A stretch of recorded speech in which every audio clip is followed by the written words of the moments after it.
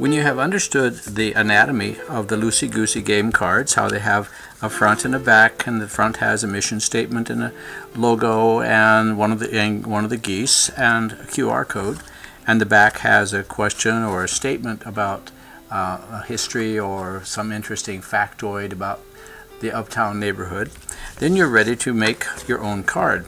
This is how the cards look on the layout sheet before they're before they're cut out. And so to make my own custom cards for the mini art gallery, I need the, uh, the design, which you have here. You can download the PDF file for this template if you wish.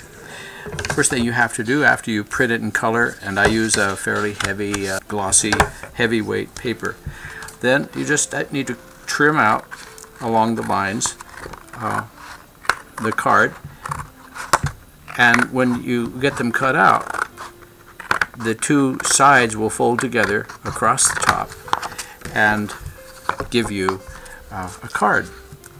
I use a glue stick to um, glue the two, two, sides together. I go across all, all around the perimeter of the card. I pre-fold it and then I go all around the perimeter of the card with the glue stick and then fold it across the center and burnish it down real well and uh, that gives me my finished card.